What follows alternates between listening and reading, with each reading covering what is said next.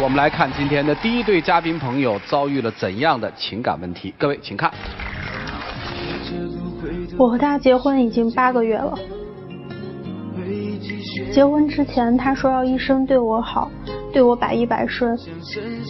谁知道他结婚之后完全变了一个人似的。结婚前对我许下的种种诺言，结婚之后都没有实现。我真的不知道结了婚之后会变成这个样子。我甚至都不知道我们的婚姻还能不能继续下去了。这个抱怨可能在现实生活中经常听到。结婚前你是这样的，为什么结婚以后你就变了呢？让我们掌声请出这一对，来，掌声有请。男嘉宾小猫二十七岁，来自西安地产开发；女嘉宾小李二十七岁，同样来自西安待业。来，有请，有请两位，有请。欢迎两位哈，结婚多久？有快一年了。相处了多久结的婚？相处了有前后五年多了。这五年多就说对你还不错是吧？对，就是那种无微不至的照顾，然后把我当公主哎，当女王一样供着。结了婚之后，态度就完全变了，感觉好像好把你得到手了，也不需要再珍惜你了。比如说，婚前我在上班，我给他发个信息，我说我肚子饿了，他可能中午哎就买一份肯德基跑来看我，然后婚后我饿了，他就会说那你赶紧去吃呀，你还给我发什么信息啊？是吧？我觉得我没有变呀。你像恋爱的时候，我们又没在一起住，现在在一起住了，肯定很多人两个人要磨合呀，对不对？你不能像。恋爱时候那样子，老是特别的任性。你们结婚度蜜月了吗？度蜜月了。去那个马尔代夫，去之前肯定是要换钱的。结果我们第二天下午六点多的飞机，他第二天中午十一点还在家睡觉。结婚之前他肯定就是会把一切所有的事情他都会安排的很好，就我只要去享受就行了。因为对于女孩来说，你想就是度个蜜月呀，有一个那种梦幻的婚礼，肯定是咋样？蜜月度的？他度蜜月就是全程都是臭脸，感觉一副好像谁欠了他一样子。主持人，你可能不知道，就是我在结婚前那段时间，就跟朋友做一个项目，然后。赔了好多钱，然后积蓄都赔光了，最后硬着头皮透支的信用卡跑到马尔代夫，然后人让我换钱的时候，我一大老爷们，我身上也没多少钱了，我也懒得给他说，不想不想给他说那些东西，哦他就非得逼着我去换钱啊干嘛的，特别不理解。你看你看，他就觉得我变了。你们这这这这肯定是蜜月度的不好，回国之后怎么样啊？回国之后的第二天他就消失了，一个星期联系不上人。你怎么会走一个礼拜呢？因为我觉得他就是。成天就叨叨我，整得我特别特别压抑。你说我大老爷们儿受不了，他天天抽个烟把我撵出去。而且你说家里面我们家一百五十多平方，他就想要一个梦幻的衣帽间，就给他做了一间衣帽间。嗯。我说那我电脑搁哪儿呀？他就我家阳台那个角落。前后就两平方嘛，他就把我电脑放到那儿了。嗯。结了婚之后，他天天在家都玩游戏，也不理我。嗯。就是以前就会有时间陪我去逛街呀，干什么的。现在就是两个人在一起的时间，基本上都是他玩游戏，我玩手机，谁都不理谁那种。这结婚才一年就这样。对，而且有一次就是特别夸张，我们俩一整天只说了一句话，就是他对我说。我帮你把快递拿回来了，然后我说了一句哦，然后就结束了。这一天一句话都没有说。那你当时如果回个谢谢老公呀什么的，我不继续跟你说了吗？你回答个哦，那我还给你接个呵呵呀。那你们俩这家务谁干啊？全是我干，因为婚礼上司仪会问你嘛，就说以后家务活谁干呀？当时我结婚婚礼时候，我不可能说是啊，我跟我媳妇都干，那我肯定说我干嘛，对不对？他就信以为真了。你是一个男人，你说话就应该做到，而且不是说司仪问这个话，就是婚前我们对这个问题进行讨论。然后我每次一跟他提这个事情，他就说，哎呀，不用分这些了，我我不会让你干的。结果婚后他就天天说，你在家什么事儿都不干，我做饭不是干活吗？那你怎么说我刚那下一句我还说我们要做彼此的天使呢，对不对？那你说咱们怎么不飞起来？那你这不是瞎扯吗？他没有什么花花肠子吧？他有，是后来被我套出来的。不是被你套出来的，是我跟你说的呀。你没有跟那个九零后的女孩出去吃饭吗？而且他去的那家餐厅就是他曾经跟我说七夕节要带我去的餐厅，他都没有带我去，然后他就带别人去了。那是我之前的一个朋友，而且这件事情是我主动对你说的呀。根本不是朋友，他们就坐面对面，然后他朋友就拿出来一个手机说：“你能过来亲我一口吗？”朋友会这么说吗？会说你能过来？亲我一口，他明知道你你结婚有家室的人，就是因为你说话总是就是给别人一种能能钻空子的，你苍蝇不叮无缝的蛋，人家怎么不找别人呀？我看到他们的疑惑了啊，等于你看了他的手机了是吧？我没看他手机，是他自己跟我说的。哦，哦就是那个女孩坐在他对面那个女孩，面对面的给他发了个微信，说你能过来亲我一下。对对对，是吧那我我觉得你，然后你回家就跟老婆招了是吧？。对对对对。他不是立刻招的，是我那天晚上隔两天。是没有隔。两天，隔了两个星期，是我套他的话，我说那天晚上睡觉，我就说咱们俩之间就各分享一件就是彼此一直没有告诉对方的事儿然后然后我就跟他分享了一件事儿他他给我结果他就把这件事儿给我分享了，分享之后我想着，如果你作为一个男人对吧，你结了婚你应该负责任，那如果说这个女的她已经跟你说让你亲她，如果是我的话，我就直接说我是有老婆的人，我希望你以后不要骚扰我，再见，就不用吃了。他还跟人家把饭吃完，而且他还买了单，还请人家吃了。买完单之后，那女的还纠缠他。第二天晚上，嗯、他说那女孩又给他打电话了，就是非要约他出去吃饭，然后他不出去，结果他女孩那女孩直接来了句说，你每天下班你回去陪你媳妇儿有意思吗？这种话是朋友会说的话吗？你继续说啊，我就回他了一个有意思，然后就不联系了呀。对他怎么能说有意思？他肯定说你管的，我就是爱我老婆，请你走开，以后不要再联系了。他应该这样子说呀，他怎么能说有意思呢？这就又给别人可乘之机了呀。你说这话就证明你不爱我呀！而且他那女孩还说，我比你老婆年轻，比你老婆漂亮，你为什么呃不？你可以离了婚，我愿意等你，你为什么要跟他在一块儿？我比他年轻漂亮，你怎么不喜欢我？然后还说要找我谈，还问他，还问我们俩什么时候离婚？你觉得这样的人是朋友吗？那我的朋友也没有跟我说过这样的话呀，人家喜欢就是默默的喜你是怎么欢。知道的？他告诉我的呀，他想跟我显摆他想给我显摆，啊就是他很有魅力。他就是觉得在我心目中，我老觉得他特别不好，啊然后他就为了显示就是别的姑娘都喜欢他，他很优秀，然后让我懂得珍惜他。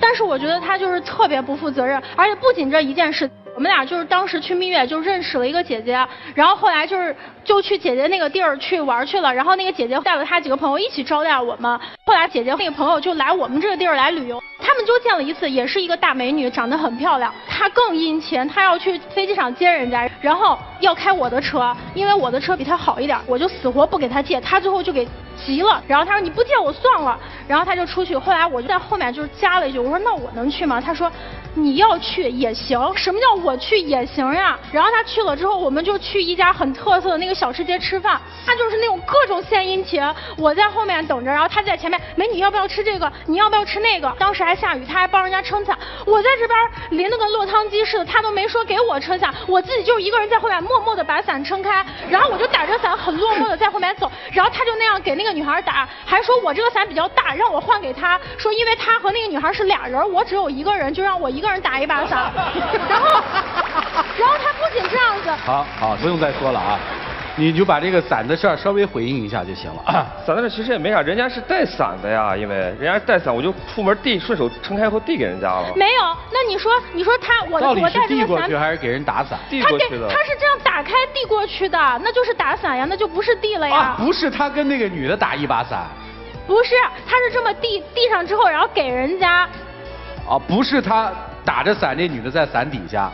没有，他说他不打伞，他就跟他说下了点小雨，他不用打，然后那女孩就打着伞。等于女孩那个女孩自己打着伞，你也自己打着伞。对啊，我没打伞。然后他就跟那女孩走在一起，美女你要不要吃这个？这个是我们这里的特色，我告诉你。哎然后我一个人就悄悄的，我都后面落他们大大概有三，四米他他这一描述啊，就差了太多层意思了。我问你个特别事儿吧，哎会加工，哎，这个上面写的是待业，那就相当于现在没工作是吧？我不是说没有工作，我是暂时朋友都叫他我我只是暂啊时休息，我没有说我没工作不是你。休息多久了，姑娘？半年半年了吧？哪有半？年？就是两个月，因为我之前九月份到现在，他朋友为什么叫他人生赢家？因为他成天就是每天玩半夜呀，然后中午再起来，吃喝什么都不愁呀，哦然后我每天就要上班，辛辛苦苦的，然后他就各种时间约朋友呀。什么叫我各种时间约朋友？那我之前我干了五年的班，我也很累了，我就想休两个月假，调理调理自己的身体，我有错吗？再说这个时候，现在就本来就是我工作没有找好，然后我觉得不太合适，我想要找一家更好的企业，那我也要对企业负责呀，不是说我随便去一家企业干上两个星期我就走了。啊知道了知道了所以我在选择呀。好好好，哎，这追了五年啊，处了五年，伺候了五年，心甘情愿的吧？当然爱他才会才会这样的。不是，他不是这样子的，他就是当时不是去马尔代夫走了嘛，走了回来之后，他跟我说，就是我们俩就谈到离婚这一步。当时结婚的第二个星期，他就说就不想过了，然后他说他跟我结婚都是被我逼的，然后说给我求婚也是被我逼的。其实他根本不想娶我，只是因为他好面子，当时已经邀请函发出去了，也不好意思说再不娶我了。你说他说的这是什么话？什么叫被我逼的？我又没逼着你。那大街上这么多人，你怎么不跟别人结婚呀？今天说句实话吧。实话，因为真的是我，因为当时也在气头上呀。因为他，你想他，他说我一个事情，他能带出来一百件事情，你知道吗？嗯，发现。我的，我真的，我真的就脑子反应不过来，你知道吗？我有时候这。你不是反应不过来，你是真的没理。好，听明白了。你还想过不？我肯定是想过，因为我结婚快快一年了，我也想要小孩儿啊，想要个宝宝什么的。他就说啊，你变了，你已经不是你 你以前的你了啊。不是，你现在天天出去沾花惹草，我怎么跟你有孩子呀？我有了孩子，孩子怎么办呀？每天在家玩游戏，我没有对，下班我他他刚才承认了，他每天在家玩游戏。那你每天在家玩游戏，那孩子哭了，你还说这一把我要打完，是不是？那你不是你现在不没孩子吗？那玩游戏你也得对队友负责呀，对不对？那就是游戏比我还重要是吧？那肯定是你重要，但是游戏。不，你们俩谈恋爱的时候就这样吗？谈恋爱就是这样子，两天一小吵，三天一大吵。那后来为什么还要嫁给他呢？就是因为他对我好，他每次来他都哄我呀。我说分手，他就在我们家死乞白赖使劲哭，哭一夜的那种，然后又送花又送东西他在你们家哭一夜。他有一次就是因为我要跟他分手，他在我们家楼底下给我打了一百通未接来电，一直等到第二天早晨六点钟，我去上班，他在我们家还在我们家门口。然后还有一次在我们单位门口拉了一个海报，还是拿着那个音箱，就写的什么我们一起走过了多少多少的岁月，就反正就是就是那就是那种套路话，然后抱了一大朵玫瑰花，特别丢人。但是现在连这种事情都没有了。还是希望有这种事情的吧。他他就只会对我说。你好好静一静吧。好好好好，到此为止吧。哎呀，你们俩能结婚，关键是谈了五年恋爱还结了婚，我觉得也算一个不小的奇迹了。就是但是你们俩还真是挺配的，你还真别说。因为因为我每一次都是默默的对自己说，又挺过来了一次。你还想跟他过吗？看他表现。啊，你愿意给他生个娃吗？看他表现，如果他表现好，能改正，像以前那样子疼我宠我的话，我肯定会生孩子。哎，万一他要假装又装了一年多，把娃骗起来，又恢复成这样，那他有本事就装一辈子，我觉得装一辈子也可以。那就那那就那就只能只能说那也没办法，那孩子也生了，我还能怎么办呀？兄弟，再熬一年吧，一起进入丘比特问卷。姑娘一看呢，从小到大被宠大的。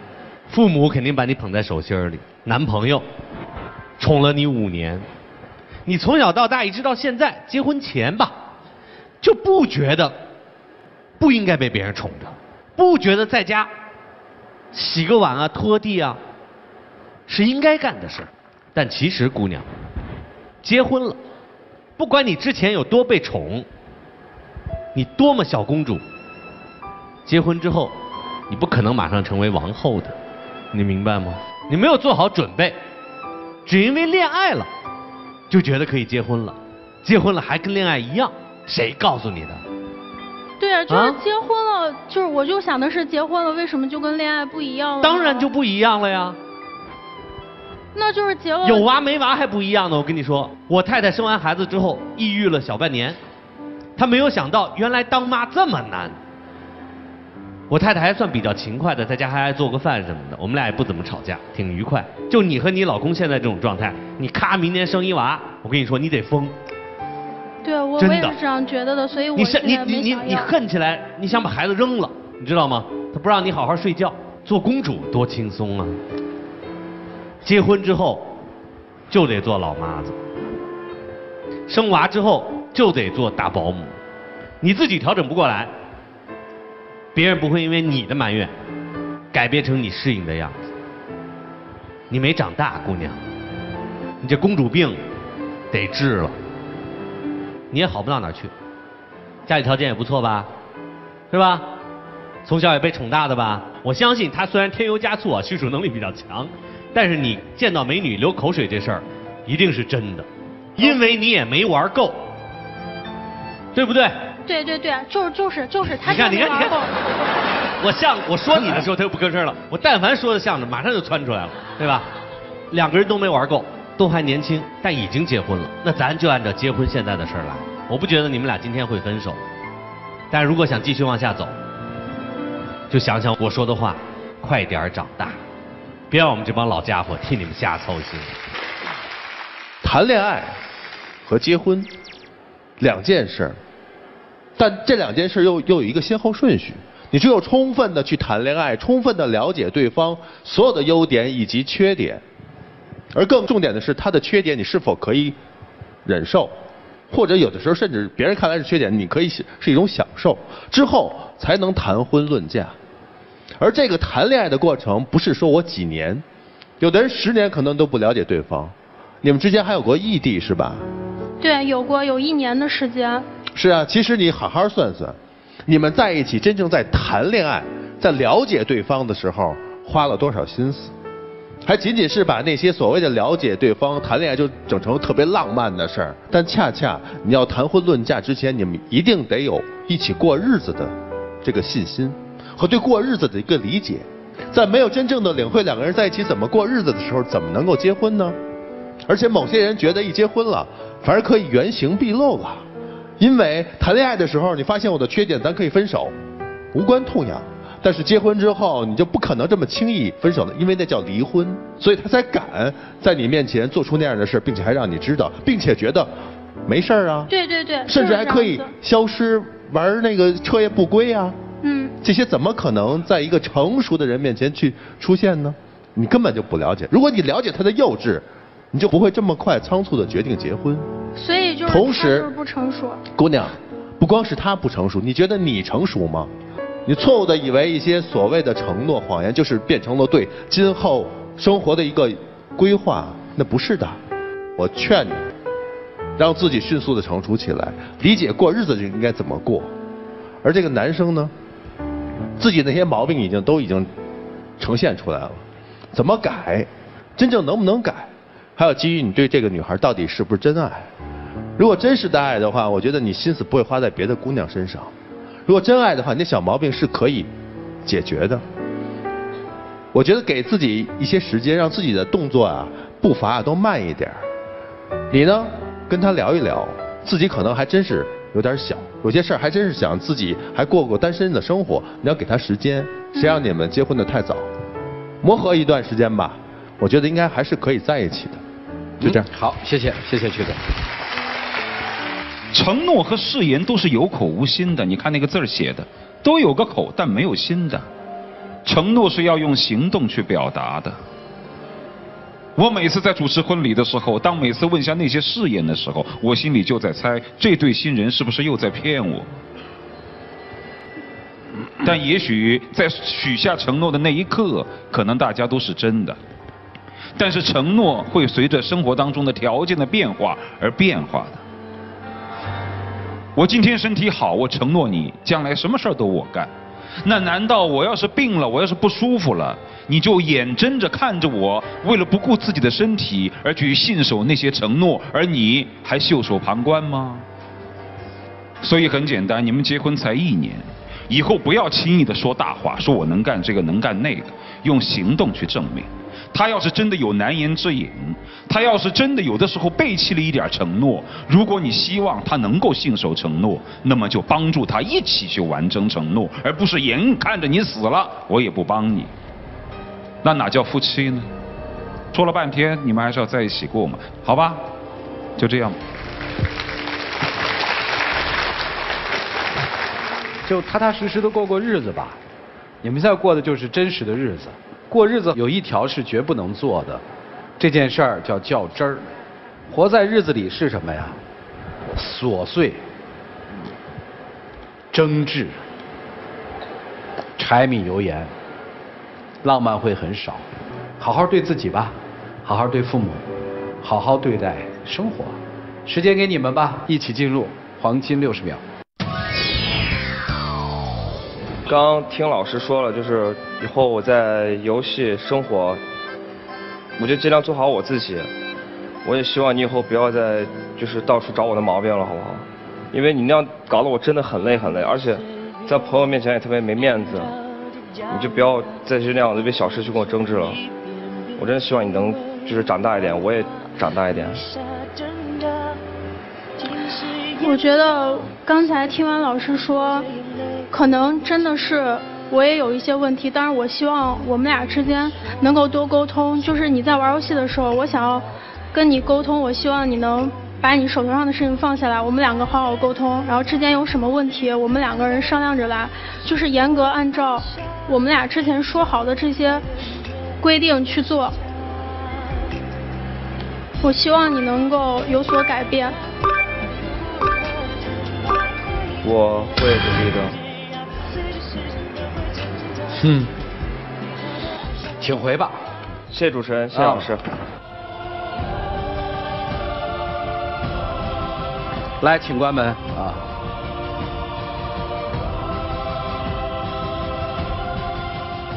问题能不能解决，看他们自己的悟性。我倒希望今天他们有一个人能不出来，受一受挫也挺好的。尝一尝那样的滋味，其实咱们就看看这一队怎么选呗。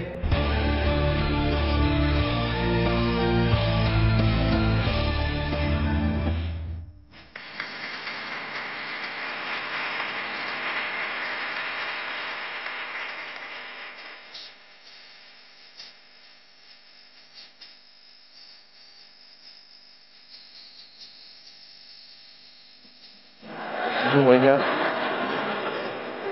你干嘛？其实我觉得我们还是你应该长大点。哎，有请我们的小花童吧，有请啊。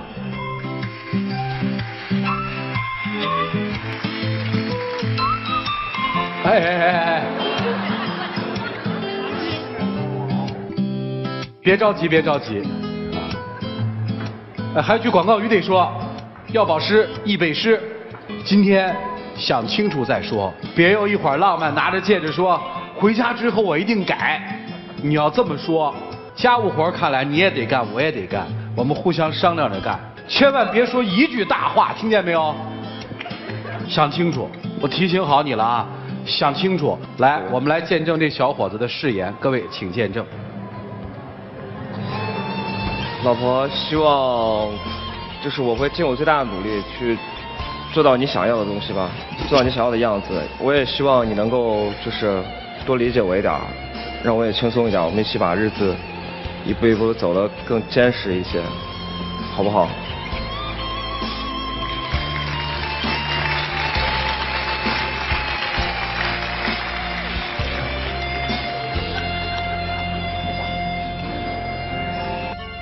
谢谢主持人老师，谢谢谢谢主持人。哎，别走，别走，别走，别走，别走。亲一个再走。